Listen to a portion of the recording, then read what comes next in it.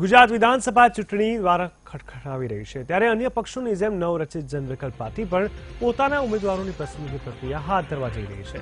શંકરસિંહ વાઘેલાના અધ્યક્ષ સ્થાને આજથી સાત નવેમ્બર સુધી પસંદગી પ્રક્રિયા હાથ ધરાશે. જેમાં તબક્કાવાર પાંચ પાંચ જિલ્લાની સમીક્ષા હાથ ધરાશે. પસંદગી પ્રક્રિયા માટે હાલ શંકરસિંહ વાઘેલાના નિવાસસ્થાને બેઠક યોજવાનું નક્કી કરાયું છે. જોવાનું એ રહેશે કે આજથી જન વિકલ્પ પક્ષના ઉમેદવારોની પસંદગી પ્રક્રિયા શરૂ થવા જઈ રહી છે. ત્યારે કયા કયા ઉમેદવારોને પ્રાધાન્ય આપવામાં આવે છે? શેના આધારે ઉમેદવારોની પસંદગી કરવામાં આવી છે? અને આ ઉમેદવારો કયા કયા મુદ્દા પર કેવી રીતે લોકો સમક્ષ જશે? તેના પર સૌની નજર રહેશે.